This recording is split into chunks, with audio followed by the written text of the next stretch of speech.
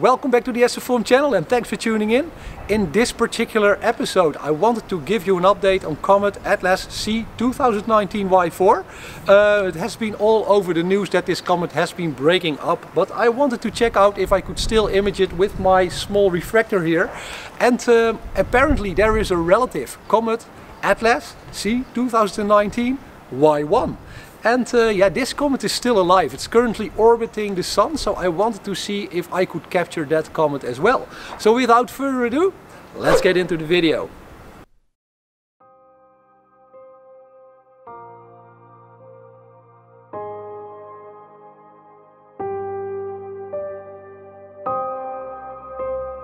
I'm always visiting this website, the Sky Live, whenever I want to find out the latest information about uh, near-Earth objects and comets. So when you go to the comment section, you actually have this beautiful overview of comets that are currently out there in our solar systems uh, system and which ones are available for imaging. So you get uh, accurate information about the position of the comet, uh, the brightness of the comet, and uh, yeah, that's really really useful.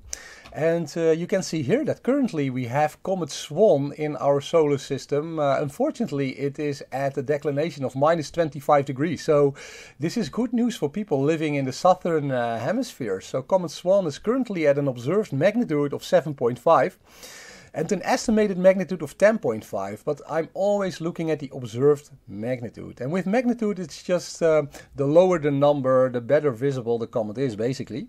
And um, I'm always looking at the observed magnitude because this information is actually based on um, yeah, astronomers who uh, who observed the comet directly, who made some pictures uh, of the comet uh, during the last couple of days. And uh, this information is usually more accurate than the estimated magnitude. So the estimated magnitude is calculated apparently by uh, NASA's uh, Jet Propulsion Laboratory. But yeah, I can imagine that you have some kind of model, uh, you know the path of the comet, you know the speed of the comet and the trajectory, and maybe you have some information on expected behavior.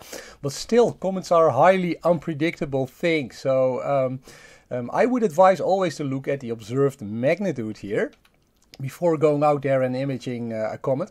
And I was actually wondering if anyone in the south, uh, in the southern hemisphere, already uh, imaged Comet Swan. So I went to some pages I follow, Nova Dawn Astrophotography. I would highly recommend that you also follow her on, on Instagram she has some beautiful uh, pictures, and uh, but she didn't uh, include a picture of Comet Swan yet, or Dylan O'Donnell. I was thinking maybe Dylan. Uh, yeah, he needs no introduction, I think, uh, if you don't know him. Uh, check out check out his YouTube channel. But um, no, don't see didn't see any picture of Comet Swan yet. So actually, for anyone who lives in the southern hemisphere, uh, this is a great time to go out there and try to cap uh, capture this comet because, uh, yeah, it's it's really at an observed magnitude of 7.5. If you have a small refractor and you have an equatorial mount, you are really, really, um, um, yeah, I I think you would be surprised at what kind of picture you can get. Um, and then, of course, in the northern hemisphere, it's all been uh, yeah gl uh, gloom and doom. Can you say that? Um, because we are we're, we're, completely focused on Comet Atlas C 2019 Y4. Um, but you can see what's happening here. So the observed magnitude, so over the past couple of days, the observed magnitude is 9.1, and there have been reports that Comet Atlas is actually breaking up. The nucleus is not visible anymore. Um, so uh, I was I was thinking I'm going to image uh, Comet Atlas uh, Y4 just to to check up on this comet and to see uh, if it is indeed the case that uh, that it is currently at this low observed magnitude. Um, but then there is another um, uh, visitor, Comet C 2019 Y1. And uh, yeah, you can see that it is currently actually at an observed magnitude of 8.0, whereas it was expected to be at uh, a magnitude of 13.5. So I will also try to image this particular uh, comet. Uh, uh, and some people might wonder why all of these uh, comets are called Atlas. Um, so for those of you who do not know yet, this is uh, there's actually an ATLAS uh, project. So the Asteroid Terrestrial Impact Last Alert System. So ATLAS in short, and they uh, they have some sky um, survey actually where they look at all kinds of near Earth objects that are potentially threatening. Uh, or uh, are potentially on a path uh, towards Earth, and um, yeah, so that's where the the name Atlas comes from actually. Um, so yeah, uh, what I'm going to do is uh, I'm going to try to image uh, Comet Atlas C 2019 Y4 to see how it's doing. And then hopefully, because um, you can see here, um, Comet C 2019 Y1 has a bigger uh, observed or lower observed magnitude, so it's brighter. I actually want to do a time lapse of this comet, but um, for me this is tricky because it's uh, although it's very high in the in the night sky, it's at a declination of uh, 72 degrees. It is currently uh, located in Cassiopeia, or Cassiopeia, or Cassiopeia.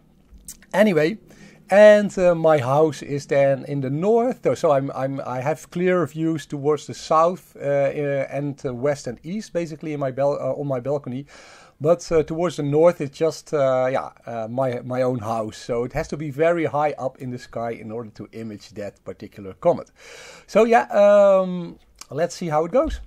There will be one particular challenge for me when trying to capture Comet Atlas C 2019 Y1 and that is that uh, the, the comet is currently located in the constellation Cassiopeia and uh, according to my calculations it will just about hit uh, my rooftop, uh, which you can see over, over here.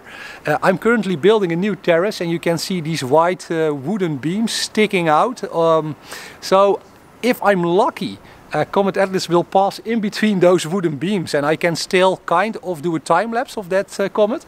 And if I'm unlucky then Cassiopeia will just be below my rooftop and then I have to quit uh, the imaging session. So let's see how it goes.